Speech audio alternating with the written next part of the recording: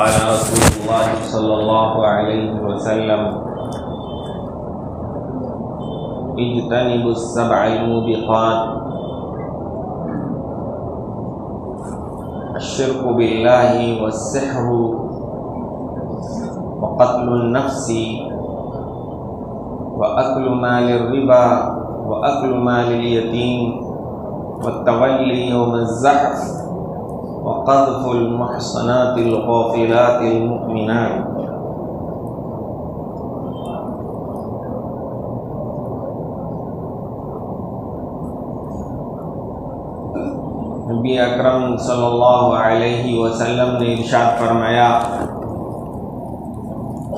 कि सात हलाक कर देने वाले गुनाहों से बचो सात हलाक कर देने वाले गुनाहों से बचो। वो ये हैं, अल्लाह तबारक व ताला के साथ शिरक करना। उसका कोई शरीक और सहीम ठहराना, उसका हमसर करार देना। अशर को व सहर। और दूसरा फरमाया, जादू करना। तीसरा फरमाया किसी जान को नाहक मारना। चौथा फरमाया, व अकलु रिबा सूद सूद खाना। पांचवा यतीम का माल खा जाना, उस पर ज्यादती करना और छठा मैदान छोड़कर जंग में भाग लेना। कुफार दुश्मनों के मुकाबले में, अल्लाह के दुश्मनों के मुकाबले में मैदान छोड़कर चले जाना जिहाद में। और सातवां फरमाया कि भोली भाली पाक दामन औरतों पर इल्ज़ाम लगाना, मोमिनात पर इल्ज़ाम लगाना। तो गुनाह तो इस्लाम के ख़िलाफ़ हैं और वो बंदा मोमिन के लिए वो जहर है। अल्लाह ताला की मासीत अल्लाह की नाफरमानी, मोमिन के शायद निशान नहीं है कि वो अल्लाह ताला की नाफरमानी करे। अल्लाह की नाफरमानी करना, अल्लाह के हुक्म को तोड़ना, किसी भी तरह से वो बेईमानी और अल्लाह तबारक व ताला की ज़ात से नवाफियत की अलामत है। जो अल्लाह ताला को पहचानेगा, वो अल्लाह की नाफरमानी नहीं करेगा। नाफरमानी करने से बंदा महरूम हो जाता है। अल्लाह तबारक व ताला की रहमत से, इनायत से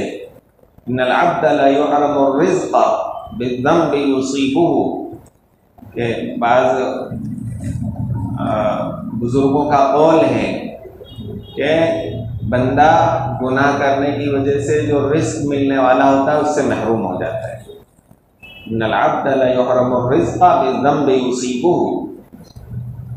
और यहाँ तक फरमा दिया, गुनाहों की नहूसत ऐसी होती है कि जानवरों पर भी असर होता है। हज़रत अबू रज़ी अल्लाह कहते हैं, परिंदा अपने घोंसले में मर जाता है इंसान के गुनाहों की नहूसत से। और छोटा है, गुना या बड़ा है? गुनाह बहरहाल गुना है। जुरत करके तो छोटा गुना भी करना बड़ा गुना बन जाता है। छोटा गुनाह उस वक्त तक छोटा है, जब तक के उस पर जसारत ना करे। बशरियत के तहत हो गया। और उसको एहसास नहीं रहा तो छोटा गुना हो जाएगा। वरना बड़ा गुना हो जाएगा। फरमाया, किसी बुज़ुर्ग ने, ला सगीरता इसरार वाला कबीरता माल इस्तगफार।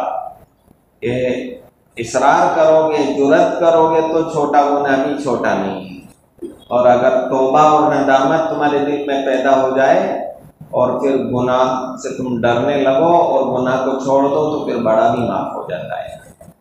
एक बुज़ुर्ग ने फरमाया यसगुरुज़म्ब इंदका यकबुरु इंदल्लाह और बेकदर मा यकबुरु इंदका यसगुरु इंदल्लाह तुम्हारे दिल में गुनाह जितना छोटा होगा, अल्लाह के नज़दीक उतना बड़ा हो जाएगा। तुमने छोटा समझा है तो मामूली गुनाह है, वो बड़ा हो जाएगा। और जितना तुम्हें बुरा लगेगा कि ये क्यों कर दिया मैंने, और फिर उस पर कुढ़ोगे, और फिर नदामत के आँसू बहाओगे तो फिर वो अल्लाह तबारक व ताला के नज़दीक वो बड़ा, वो छोटा हो जाएगा। अल्लाह तबारक व ताला उसको माफ़ कर देगा। लेकिन ओलमा ने सगीरा और कबीरा की जो फ़र्क किया है, जो तफरीक की है, वो हदीस में भी आई है कि कुछ गुनाह बड़े बड़े बताए गए वो तो हलाक कर देने वाले हैं। और गुनाह कबीरा किसको कहा गया है? कि जिनके बारे में ये आया है कि जहन्नम में जाएँगे वो। जिनके ऊपर अजाब की वाइद सुनाई गई है और जिन पर वो हद नाफिज की गई है इस्लाम के अंदर। जैसे जीना की हद है, कोड़े लगाना या संसार करना, चोरी की हद है, हाथ काट देना, गट्टों तक हाथ काट देना, गट्टे तक। और इसी तरीके से इल्ज़ाम लगाना, इस पर अस्सी कोड़े मुकर हैं। तो जो हद है, नाफिज है, जिस पर ये वारिद हुआ है कि जहन्नम में जाना पड़ेगा, या ये वारिद हुआ है कि अल्लाह ताला की नाराज़गी उस पर मुल्लक है तो गुनाह कबीरा करार दिए हैं। कराम ने गुनाह कबीरा से तो आदमी को बहुत ही चौकस रहना चाहिए, चौकन्ना रहना चाहिए, बहुत दूर भागना चाहिए। तो चंद बड़े गुनाहों को इस हदीस शरीफ में रसूल अकरम वसल्लम ने बताया है और उनसे बचने की तलकीन फरमाई है। शिरक करना, यानी अल्लाह ताला की ज़ात में, उसकी सिफात में, उसकी कुदरत में नफो ज़र में तसरफ़ करने में किसी दूसरे को करार दे दें हम तो ये शिरक है। दूसरी बात फरमाई, जादू करना। और करना या करवाना, आप किसी से मदद लें कि तुम उस पर जादू कर दो तो वो भी जादू करने का हुक्म नहीं। तो जादू का सहारा लेना किसी भी हाल में मोमिन के शायद, हत्या के बाद ने तो कुफ्र कहा है जादू को, कि जादू करने वाला काफिर हो जाता है, यहाँ तक फरमाया है बाद ने तो जादू सिकली अमल, ये तो किसी भी हाल में नहीं करना चाहिए। और काट उल्वी अमल से हो जाती है, कुरान और हदीस वाले अमल से इसीलिए काट भी नहीं करते, करना चाहिए। जादू से जादू की काट नहीं, बल्कि उलवी अमल हमारे पास है, आसमानी अमलियात हैं, कुरान के वो उसकी काट कर देते हैं। इसीलिए जादू किसी भी हाल में जायज़ नहीं है, उसको कुफ्र कहा है के राम ने यहाँ तक। और तीसरा फरमाया, किसी जान को नाहक मारना। किसी को नाहक मार दिया तो फिर वो हलाक बर्बाद हो गया। और फिर चौथा फरमाया कि सूद खाना। सूद तो जानते हैं कि किसी को कर्ज दें और उसके मुकाबले में नफ़ा हासिल करें, कर्ज में उसको सूद कहते हैं। जैसे सूद दिया कि आपने वो एक हज़ार रुपये कर्ज दे दिए और ये कहा कि एक महीने में लौटाना तो तुम ग्यारह सौ लौटाना। दो महीने में लौटाना तो बारह सौ। हर महीने सौ सौ पढ़ते रहेंगे। तो ये सूद है। या आपने दे दिया उसको और उसकी कोई चीज़ का आप इस्तेमाल कर रहे हैं कि जब तक तुम नहीं दोगे तो हम ये तुम्हारी ये चीज़ इस्तेमाल कोई भी नफ़ा हासिल करें आप कर्ज के मुकाबले में, वो सूद हो जाता है। जो बैंक देता है वो भी सूद है, वो भी जायज़ नहीं है। वो हम ले लेते हैं, लेकिन इस्तेमाल करना जायज़ नहीं है। वो गरीब को दे देते हैं। गरीब को दे देना है, वो अपना माल नहीं है। इसलिए सदका नहीं कहेंगे उसको उसको कहेंगे अपनी गर्दन छुड़ाना।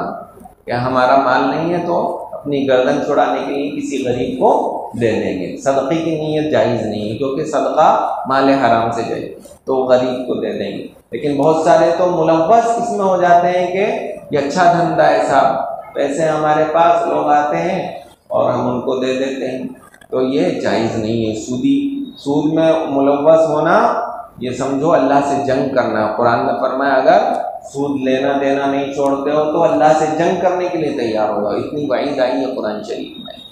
फिर भी बहुत सारे मुसलमान सूद देते हैं, लेते हैं। देना भी जायज़ नहीं है, लेना भी जायज़ नहीं है। हती कि सूद में गवाह बनना और सूदी कारोबार को लिखना भी जायज़ नहीं है। इसीलिए हमारे कराम बैंक में जो सूदी, जो खास बैंक में, मेन नौकरियाँ होती हैं। तो चूँकि सूदी कारोबार में इन्वॉल्व होते हैं वो तो उसको नाजायज़ कहते हैं हमारे कराम क्योंकि तो सूदी कारोबार में किसी भी तरह से मदद करना जायज़ नहीं है। और तो फिर पांचवा गुना फरमाया, या चौथा फरमाया कि यतीम का माल खाना। यतीम का माल खाना। ये पांचवा है। यतीम का माल खाना कैसे होता है? वो ऐसे होता है कि कोई इंसान इंतकाल कर गया। अब उसके छोटे छोटे बच्चे होते हैं, दस साल के, बारह साल के। अब वो प्रॉपर्टी किसी ने ले ली और वो यतीम बच्चों का माल खा रहा है क्योंकि तो बेचारे वो अपना दिफा नहीं कर सकते। और उनके बाप मर गए हैं तो हड़प कर ले रहा है वो। चचा कर लेते हैं, अक्सर वो बेचकर तो चचा, यानी जो मरने वाले के भाई होते हैं, वो ले लेते हैं। रिश्तेदार होते हैं, चचादार भाई हैं, चचा हैं तो वो हड़प कर लेते हैं। उनका कोई हक नहीं बनता है। जब बच्चे मौजूद हैं मरने वाले के तो मरने वाले का भाई का एक रुपया भी नहीं होगा उसमें।